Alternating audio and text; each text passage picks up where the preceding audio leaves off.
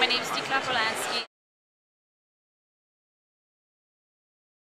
It's all about sustainability, which is Coca-Cola's biggest pillar, most important.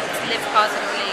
So every piece in the installation is either recycled glass or plastic or aluminum, um, reclaimed wood. It was really important for us to do something that feels responsible um, and to really inspire action and, and, and change the mind shifts of our consumers.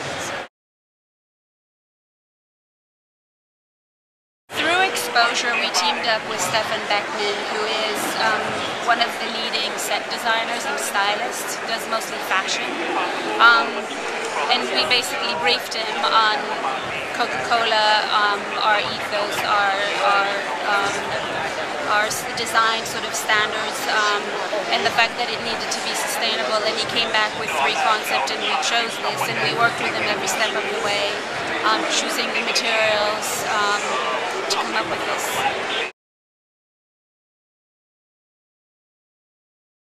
The glass orb uh, lights are recycled Coca-Cola glass bottles. Um, an artist in uh, Texas hand blown them.